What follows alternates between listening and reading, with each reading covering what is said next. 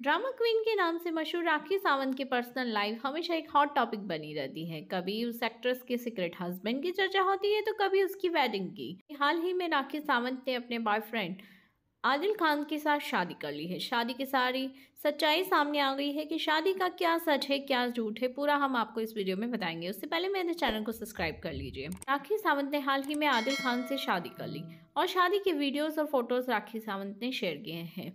पर शॉकिंग की बात यह है कि आदिल खान ने इस शादी से साफ़ इनकार कर दिया है और इसी बात से राखी सावंत काफ़ी दुखी है। उन्होंने बताया कि ये शादी हमने सात महीने पहले ही कर ली थी और उन्होंने अपनी बहन की शादी के चलते मुझे एक साल तक ये शादी रिवील नहीं करने के लिए कहा था और मैंने आदिल पर ट्रस्ट किया था पर अब आदिल इन चीज़ों से मना कर रहा है।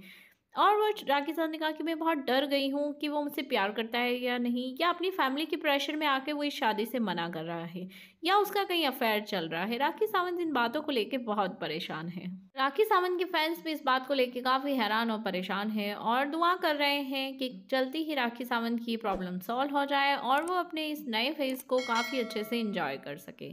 आप लोगों का राखी सावंत के लिए क्या कह कहना है, कमेंट्स में बताएँ।